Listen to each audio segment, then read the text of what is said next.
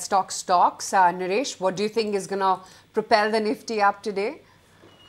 So, uh, looking more on the rest of the Nifty names, first is the buy on Tata Steel. Clearly, a stock which has uh, been testing that breakout points uh, on the 2021 highs, showing relative strength as well, expecting it to catch momentum in the short term. A retest of the breakout done, and now expecting fresh moves to all-time highs. Stop loss now at 148, target price of 170. Second is a buy on Info Edge Naukri.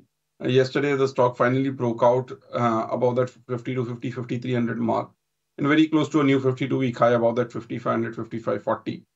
A classical formation of 12 to 18 months of consolidation, then a breakout and a retest of 4900, 5000 multiple times, uh, revising the stop loss now to 5200 and the target price of 6000.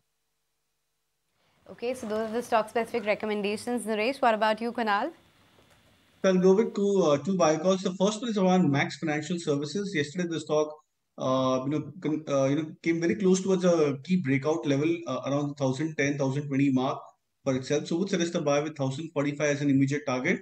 Stop loss to be kept at 994. And Indian hotels is something which I've been recommending over the last couple of days. Looks quite uh, you know strong. The recovery is almost like a V-shaped recovery for Indian hotels. Looks quite strong even at current levels of 580 plus. So would suggest a buy with 608 as a target. Stop loss at 570. If you like this video, then like, share and subscribe to ET Now.